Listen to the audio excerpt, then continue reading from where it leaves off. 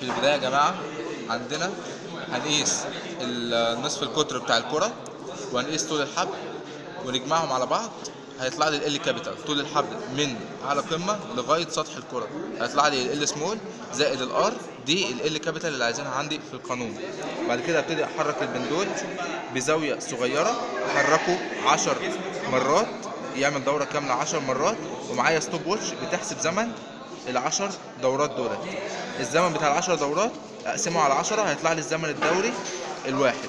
بعد كده أقوم مغير الطول وأحسب الطول L capital بنفس الطرق اللي فاتت وأعمل برضو 10 دورات وأطلع الزمن الدوري. ال- الزمن الدوري بتاع العشر دورات أقسمه على 10 عشان يطلع لي الزمن الدوري بتاع الدورة الواحدة للطول دوت.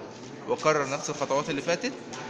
لمدة لخمس مرات واطلع خمس قيم وبعد كده أعوض في الرسم البياني ويطلع لي نتائج المسألة إن شاء الله